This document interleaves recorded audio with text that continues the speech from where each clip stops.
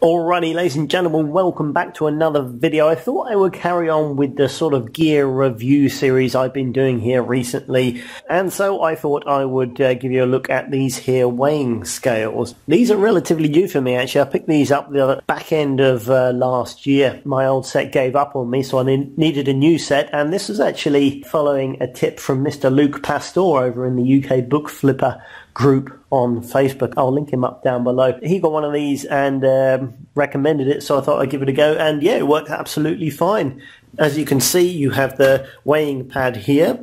You have a separate digital readout here that you can set to pounds, kilos, all different sorts of things and it's handy that it's separate like this. It's on a nice big bunchy, so you can have it quite a distance away. You could have this on the floor, for example, and it even has mounting brackets, so you could actually mount that on the wall and have that down in front of it. You can actually have it in all sorts of different options, and um, it is pretty good. It will well, weigh up to 50 kilos, so uh, you can put some heavy boxes on there, and uh, yeah, it works very well.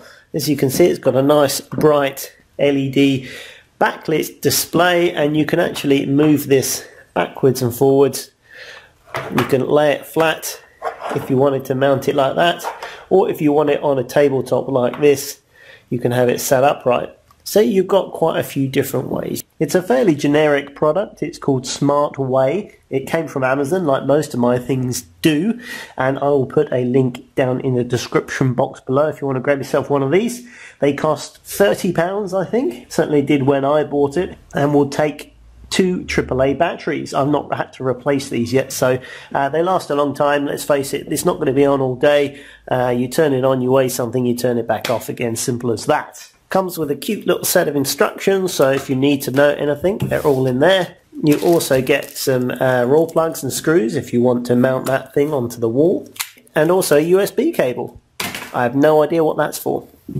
So there we have it. It's pretty simple. It's pretty easy. It does what it says on the tin. And if you're regularly sending things to be shipped on eBay or sending stuff off to Amazon, it's handy to have something that you can just turn on and use. So something to be recommended, that's for sure. It does what it says on the tin. It's not very expensive.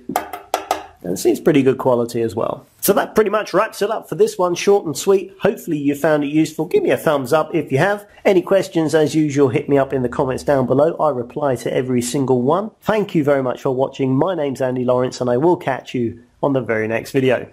Bye for now.